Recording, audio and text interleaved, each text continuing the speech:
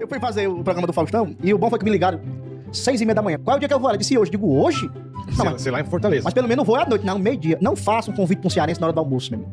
O cearense na hora do almoço ele só quer fazer uma coisa: almoçar e dormir. Fui pro mercado São Sebastião, eu comi uma, uma panelada, uma buchada, uma comida leve pra pegar um avião. Sim, coisa leve, é coisa, coisa tranquila. Um cuscuz com ovo. É. Caralho. E tomei uma cajuína. pra dar liga, né? Sério, pra juntar.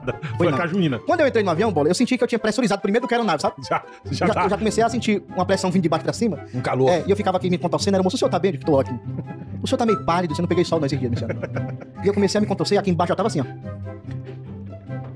Enturmecido. Já tava soltando beijo aqui pro, É, já. pro assento. E eu pensava, meu amor, por que, que esse voo não é pra Juazeiro, que é só 50 minutos? Daqui pra São Paulo é 3 horas e meia. Puta, é foda segurar, irmão. Mas o avião decolou, que curvou pra direita. O piloto falou, tripulação, 10 mil pés. Aí, pim, apagou o negócio do cinto. Você levantou. Era, moço, eu posso dar o talete? Ela, fica à vontade, moço, usa aqui o da frente. Eu disse, não, senhora. Eu vou lá pra trás. Por que, que o senhor não usa o da frente? Eu sei o que, é que eu vou fazer.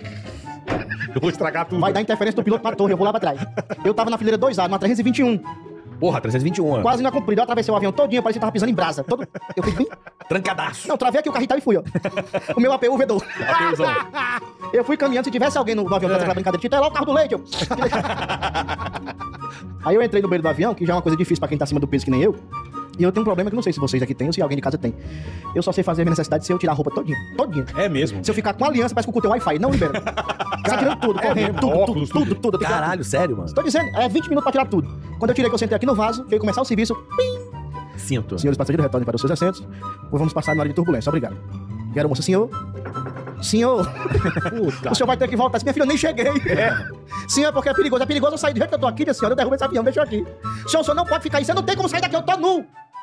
Senhor, o avião vai balançar. Ele pode virar da escola e da fumaça. Daqui eu não saio. Minha filha, eu já caguei em cima de uma carroça. Vá por mim. Confia. Eu vou me segurar aqui, ele pode sacudir, meu amigo. Carioca, o bicho começou a balançar e fica aqui no banheiro. Tá, tá, tá, e o bicho balançando. E ela, o senhor tá bem? Isso aqui tá ótimo, te segura isso, Kenga. E o bicho balançando aqui. Quando eu terminei o serviço, o avião já tava baixando aqui em São Paulo. Caralho. Eu não vi nem o tempo passar, mano. Então eu comecei a cagar em cima vazeiros, eu caguei o país vi- Puta,